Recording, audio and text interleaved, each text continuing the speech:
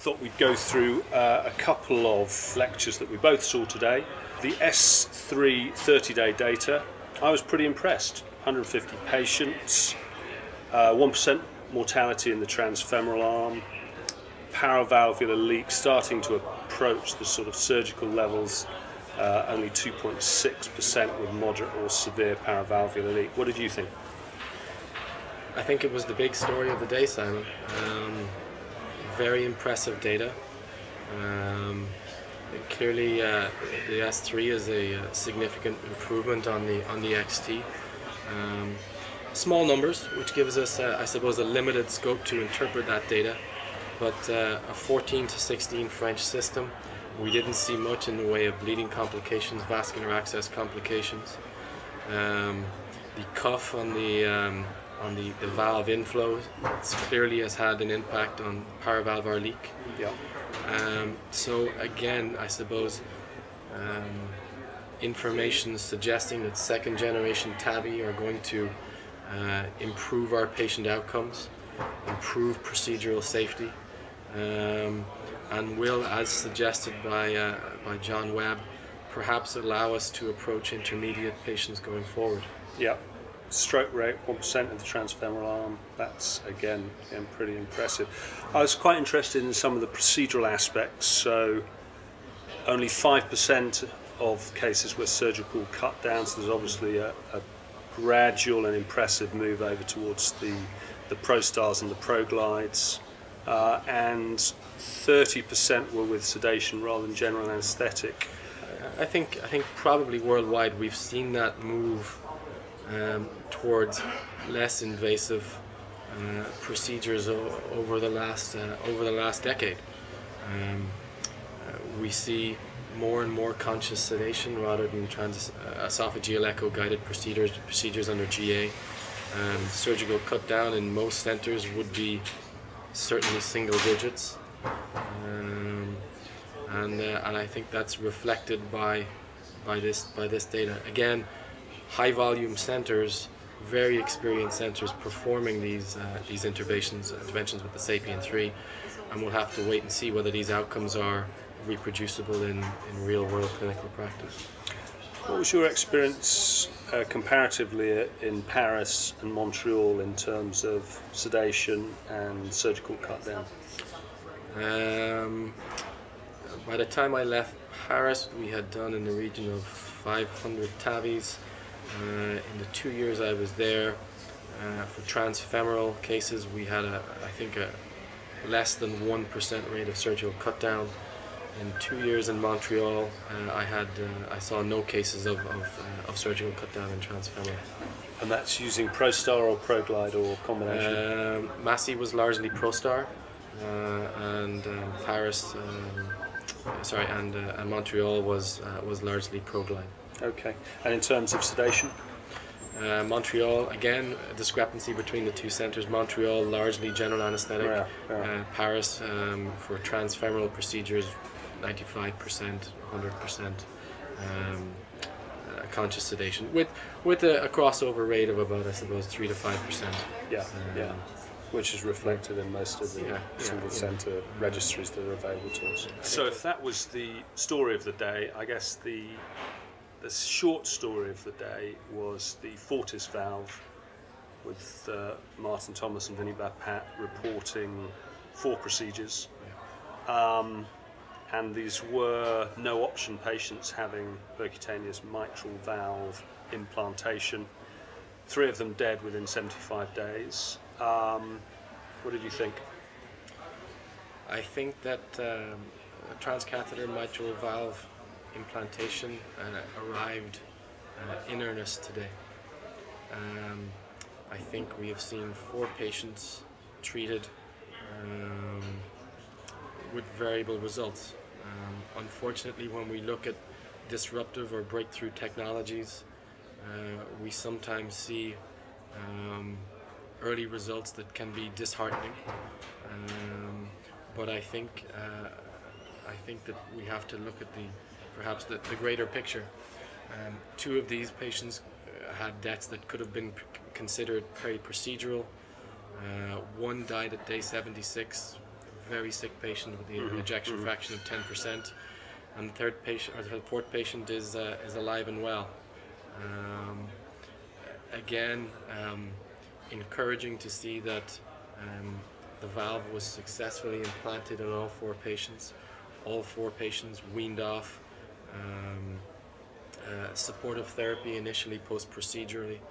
Um, what would have been interesting and what wasn't included in the presentation today were pre and post procedural uh, mitral regurgitation rates, um, effective orifice area provided by the valve, gradients across the, the, the mitral prosthesis and indeed across the um, uh, across the uh, the LVOT. So I suppose we'll have to wait for that data, but no doubt it will be forthcoming in, in due course. What struck me uh, was that for a TAVI operator, it all looked fairly standard procedural activity. I, I, there wasn't anything I saw. I thought, oh, I wonder how we're going to do that. So that was reassuring from a sort of structural viewpoint. Yeah, yeah. I think the transapical system um, is designed for that. It's designed to make the implant as TAVI-like as possible, as straightforward as possible. We'll have to wait and see whether that remains the case when we um, when we approach these same procedures transeptally uh, and have to try and align these large devices that are 25 to 30 French um, and get coaxial alignment across the mitral valve. That I think will be a, a more challenging, uh, a more challenging procedure, and I, I think reflected in our early transeptal TAVI experience as well. That that was a more difficult approach.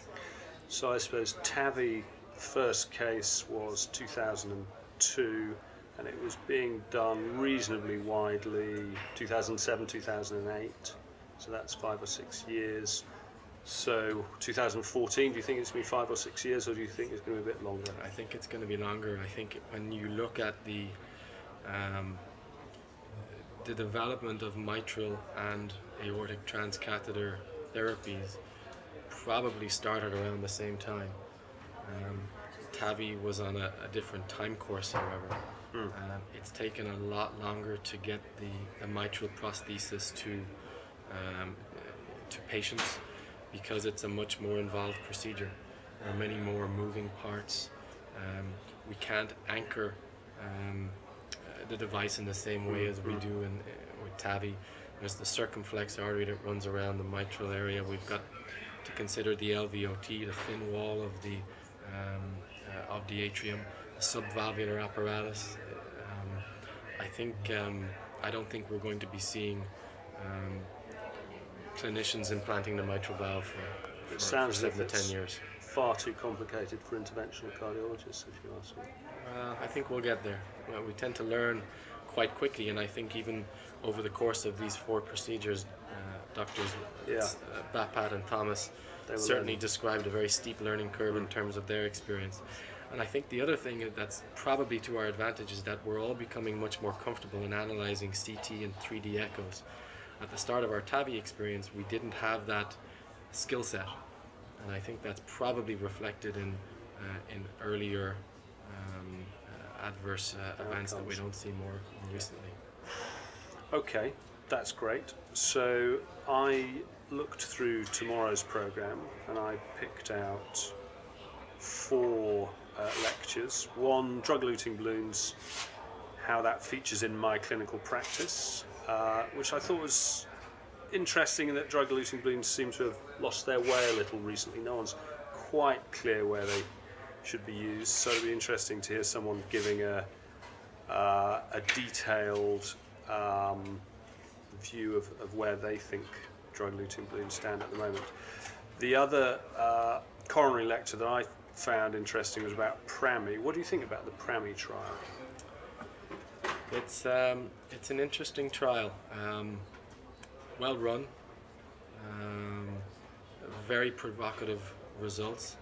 Um, I think the, the two difficulties that most people would have with the PRAMI trial uh, are first of all that it was stopped early, which tends to exaggerate the treatment effect. Mm-hmm. Um, uh, and if we had crossed over two MIs from one group to the other, from the, the intervention group to the non-intervention group, that would have made the p-value for MI non-significant. So I think that's one issue. Um, the second issue is whether or not the, um, the non-intervention group receives standard of care therapy. I think that most of us in our interventional practice, when we treat the infarct-related artery, if there are significant stenoses um, that should be risk stratified, be that with FFR, with um, uh, nuclear to try and gauge the, the amount of myocardium at, uh, at risk, many of those lesions in a usual or standard therapy group would have been treated. Mm-hmm. In this trial, um, there was no attempt to risk stratify and look at the, the, the, the, the, the amount of ischemia that that person was, was potentially exposed to. Um, that wasn't done. Mm-hmm. You were treated or you were not treated, and I'm not sure that that reflects contemporary practice. And I think that was a, a criticism. But I think an in-depth look at uh, at the trial is, is certainly warranted um, but its results were, were very provocative. Two TAVI lectures, the TAVI dev- device parade, that's always interesting, and then there's quite a long session on coronary re- revascularization in TAVI patients, the usual issue before, during, or after. Um, I suppose people fall into three groups in terms of coronary revascularization with TAVI patients. Some people want to do everything, some people want to do nothing, and some people take a more pragmatic viewpoint. Where do you stand as a TAVI operator? I think it depends on the patient, and I think it depends on the lesion. Um, I think there's good evidence suggesting that you don't have to fix all the stenoses um, to get a patient through TAVI. Um, but I think that as we move into lower risk patients and move away from our 85 year olds who have no options, I think we're going to need to try and offer surgical like outcomes to our patients who would otherwise be receiving um, complete coronary revascularization and aortic valve replacement. Um, uh, and I think that no one has looked at um, uh, randomizing patients to treatment before, during, or after. Um, and no one has looked at functional significance of stenoses in these mm. groups either, um, or indeed, again, the amount of myocardium at risk. I think at the moment, in the absence of such evidence, I think it should be individualized for uh, for an individual patient. Yeah. What do you think the likelihood of getting a randomized trial is? I think probably quite low. I think the chances of a randomized trial on revascularization pre or post TAVI is um, are slim to none unless it's physician initiated. I think there are groups, however, out there who, who do do enough patients, and perhaps uh, perhaps a bunch of us can get together and, uh, and look at that. I think there's a UK trial that has started, uh, investigator driven, but I think they were struggling to recruit because people have such fixed ideas about what they should and shouldn't. But it'd be interesting to see whether they come up with anything in it the next year or so. Uh, to round up, you've got an abstract. You are, you're certainly first author on it. I don't know if you're presenting it on TAVI in uh, bicuspid aortic valves. That's right. Um, we have a uh, multi-center, multinational registry, um, including 12 centers in Europe and Canada, where we have uh, 143 patients with bicuspid aortic valve treated with TAVI. Um, uh, the headlines from it are that the um, treatment appears to be safe um, and feasible in terms of um, efficacy. Uh, overall, we had a 27% uh, rate of greater than mild um, paravalvular leak. Um, some of that relates to the fact that CT sizing was only used in, uh, in two thirds of patients, and when we looked at patients who just had CT sizing, a para, or, um, greater than mild paravalvular leak rate uh, dropped to about 15 16% with both the Edwards and CoreValve systems. Mm-hmm. However, there are probably some structural reasons why we could get more paravalvular leak yeah. with, with, the, with the bicuspids. They tend to be more elliptical, they tend to be larger annuli, um, they tend to be more calcified, and their pattern of calcification is quite different uh, to tricuspid AS. Um, and also, the, in, in, in non true uh, bicuspids where you have calcified raphae, it can certainly, uh, we would think, um, uh, prevent complete expansion of the prosthesis.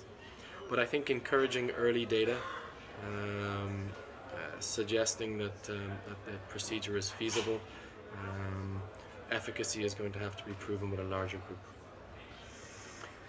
Good there we go. That's today's roundup and a quick look at tomorrow. Uh, and we'll join you here tomorrow at the same time.